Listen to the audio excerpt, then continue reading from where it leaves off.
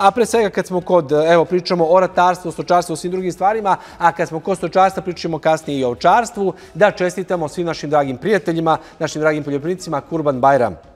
I to je jedna lepa priča, e, da kažemo priča iz Kurana i priča iz Biblije, zašto se zapravo slavi Kurban Bajram i kakve to veze ima sa ovčarstvom u Srbiji, a kad dođe do Kurban Bajrama, svi očekuju da dođe i do nekog skoka cene, inače e, ovaca u Srbiji, zbog toga što po svetim knjigama dakle, koje su nastale u Arabiji i svetim knjigama jevreja isto tako, koje je prihvatilo hrišćanstvo, Avram je trebao da žrtvuje svog sina. Umesto žrtve kao dokaz odanosti Bogu. Umesto toga, e, u kupine, eto sad kad smo kod cene kupine, je ovan zaplao svoje rogove i onda je on došao i umesto svog sina e, da bi izrazio poštovanje prema Bogu na žrtvu prinao, eto malo da znate čisto, to je jedna poljoprivredno biblijska priča, a i iz Kurana postoji slično, samo malo drugačija verzija, da li je bio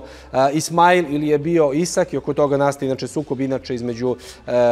islama i judeizma. Dakle, uzeo u svakom slučaju ovna koji nije imao nikakvih mana i prinoga na žrtvu Bogu. I zbog toga Kurban Bajram, ta žrtva, to Bajram zapravo znači na turskom praznik, a Kurban je žrtva koja se prinosi za taj praznik. Ta žrtva mora da bude savršena, mora da bude lepa životinja, mora da bude zdrava životinja, ne sme da ima nikakvih mana, jer se prinosi kao žrtva Bogu. Eto, zbog toga se slavi, ja to malo onako lajički opisujem, ali ljudi da prosto budu svesni, mi moramo da budemo svesni svi, nezavisno koji praznik slavite, jer ima veze i sa ekonomijom, i sa poljoprivredom, a i sa poštovanjem svih naših dragih prijatelja naših dragih gledalca, koji proslavljaju baš Kurban Bajram.